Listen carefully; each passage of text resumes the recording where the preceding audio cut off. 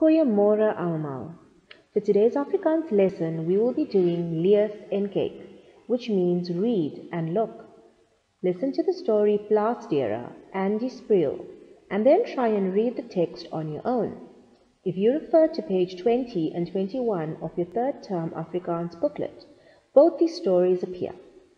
Pay careful attention to pronunciation of the various Afrikaans words.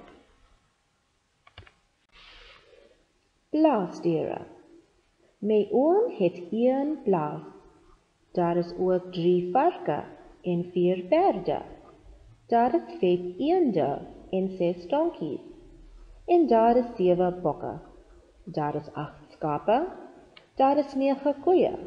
En ons is 10 mense.